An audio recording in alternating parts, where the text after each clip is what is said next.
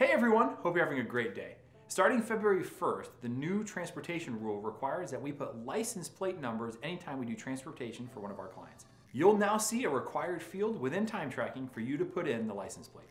There's a lot of different things happening here at Toward Independence, and sometimes it may be a little difficult to know who to reach out to if you have a question or where to send that document. Cindy Siebold, our director in Greene County, has developed a document distribution list. You can find it on the intranet or by clicking the links below. It takes a lot of people working together to make some of our big projects happen. And that includes our recent elevator and basement remodel.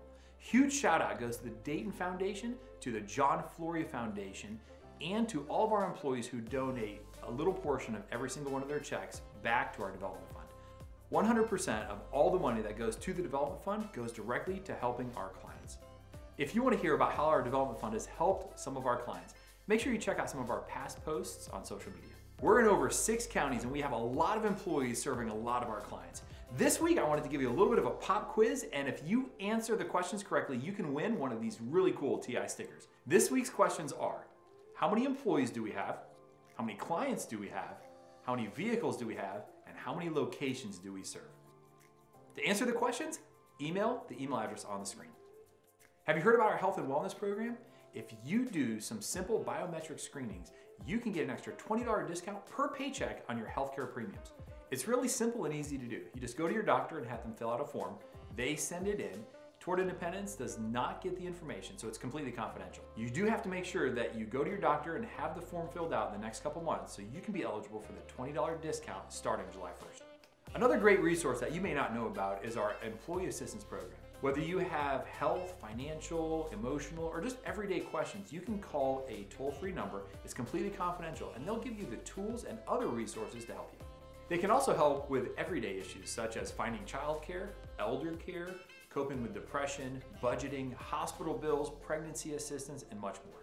It's March now, which means Art and Soul is a month away.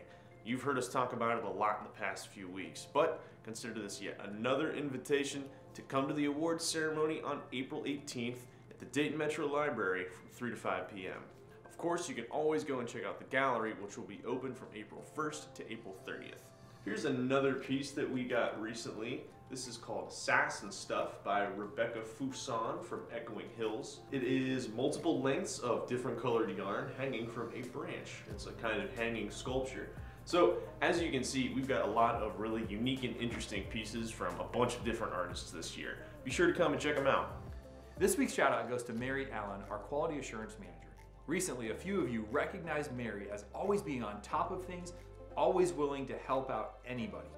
No matter what you need, you know you can get it from Mary, and no matter what's going on with her own workload, she always finds time to assist others. She always gets things in a timely manner, she's always polite, patient, and reliable for our team. One person even said she's a force to be reckoned with in this world of technology. Mary, thank you for everything that you do to lead our quality assurance department and for our agency. If you want to hear a little bit from Mary about why she does what she does, check out a recent interview that we did with Mary with her explaining her passion for our field. You can find the video in the links below. Gary and Cody have been really excited to be a part of these weekly videos, and we've loved having them. They've also had a whole notebook full of quotes to share with you. Let's hear what this week says. You got a dream. You gotta protect it. People can't do something themselves. They wanna tell you you can't do it. If you want something, go get it. Period. I'm king of the world.